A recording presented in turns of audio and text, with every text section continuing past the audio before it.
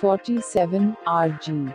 Colony, Delhi. The 20th of March 2020.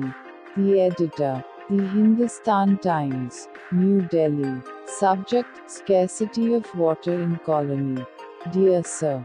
Through the columns of your esteemed newspaper, I wish to highlight the problem of the residents of RG. Colony.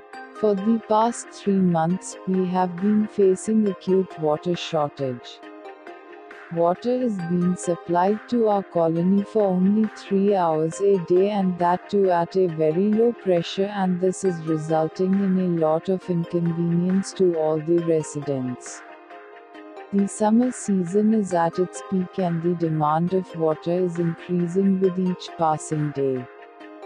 Unfortunately, the water supply has been decreasing and has now reached a stage where there is not enough water available even for daily, necessary household chores.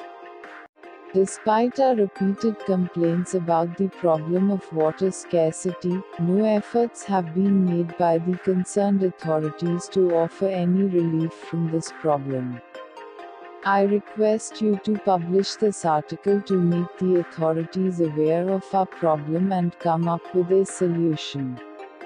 Stringent action should be taken against those who install gadgets to the main water supplying pipeline, thus reducing the water pressure being supplied to the houses.